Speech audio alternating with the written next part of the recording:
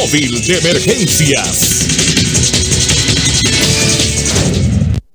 Buenos días, a continuación les presentamos un amplio resumen de los hechos más relevantes que se registraron la noche de ayer y la madrugada de hoy en la móvil de emergencia en la ciudad de San Pedro Sula.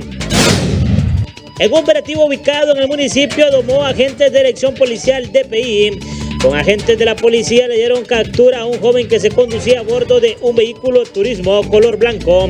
Al momento del registro, el vehículo se hacía acompañar por ciudadanos cubanos que manifestaron que ingresaron por un punto ciego ubicado en Guasaule, en el departamento de Choluteca. Este fue puesto a disposición de los juzgados de San Pedro Sula por el delito de tráfico de personas, quien fue identificado como Alexander Rafael Martínez Ramírez. Una mujer fue capturada cuando regresaba en un vuelo deportados al aeropuerto Ramón Villeda Morales de la Lima por miembros de la unidad Interpol asignados a la dirección policial DPI.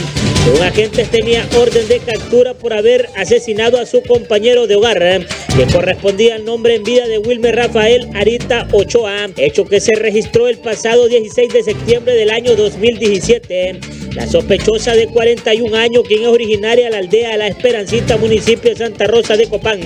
Según las investigaciones, la mujer planificó el asesinato de su esposo. Con la colaboración de su hermano contrataron a un sicario y por celos en contra de otras mujeres y declararse heredera de sus bienes se registró este hecho violento.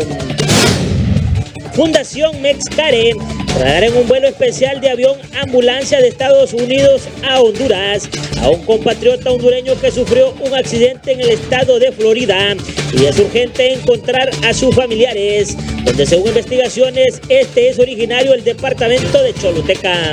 Yo represento a esta institución que se encarga de dar el apoyo de la ayuda humanitaria eh, médica y en esta ocasión este paciente se encuentra en Estados Unidos y específicamente en Florida. Y él está pidiendo su retorno.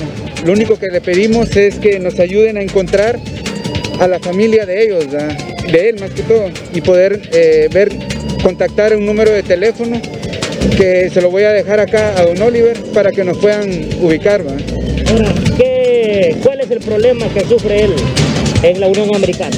Él sufrió un accidente en el mes de diciembre y eh, ahora ya recuperó sus habilidades y él está pidiendo que su familia lo, vuelva a contactar solo porque allá eh, en, Estados Unidos la familia que él tenía ya no, ya no quiso hacerse responsable, mucho menos de, buscarlo.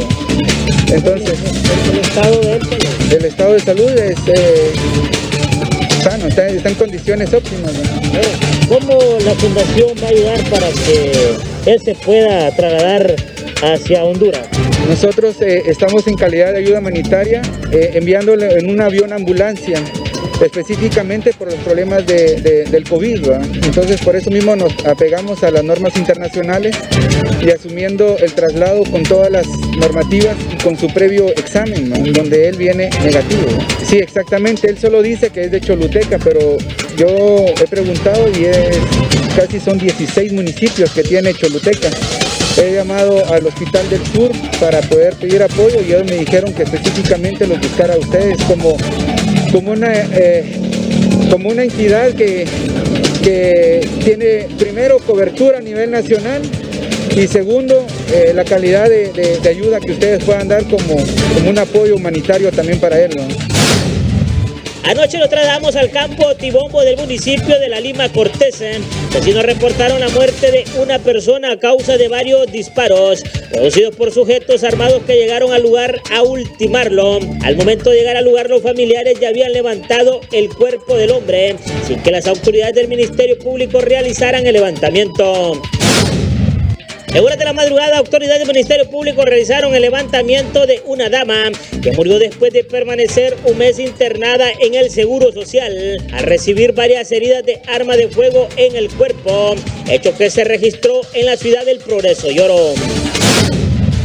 Esta ha sido la móvil de emergencia en la ciudad de San Pedro Sula, los hechos más relevantes que se registraron la noche de ayer y la madrugada de hoy. Con las imágenes y edición de Carlos el Dinámico Pérez, el propio lugar de los hechos para HCH Televisión Digital, les informó Orly Castro. Móvil de emergencia.